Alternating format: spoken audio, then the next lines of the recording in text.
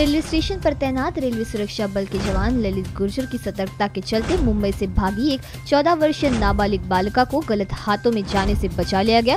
उसके साथ में एक 20 वर्षीय लड़के को भी पकड़ा गया। एनडीएस दस्ते ने एक ही दिन में सात मंगल कार्यालयों में छापेमार कार्रवाई की। ज़रूरत से अधिक संख्या में लोगों की भीड़ पाए जाने पर दस्ते ने सैतीस हज़ार का जुर्माना भी वसूल किया। मंगलवार को हुए जोन सभापति चुनाव में भाजपा ने अपना जीत का परचम लहराया। नौ में से आठ जगहों पर भाजपा का वर्चस्व रहा। मंगलवार को अमरावती रोड पर कैंपस के पास उस समय कबाड़ी वालों में हड़कम मच गया, जब अचानक दस्ते ने पहुँचते ही तोड़ू कार्रवाई शुरू की।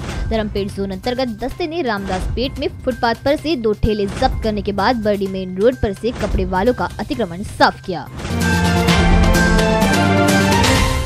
कोरोना को लेकर एक बार फिर स्थिति बिगड़ती जा रही है। मंगलवार को 24 घंटे के भीतर 535 लोगों में संक्रमण की पुष्टि हुई।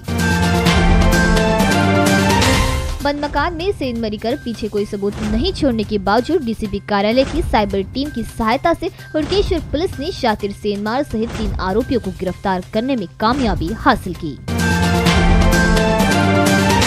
शहर की लोकल क्राइम ब्रांच को मिली गुप्त सूचना पर की गई छापामार कार्रवाई में पिस्टल सहित तीन कारतूस और तिरसठ ग्राम एमडी ड्रग्स बरामद किया गया।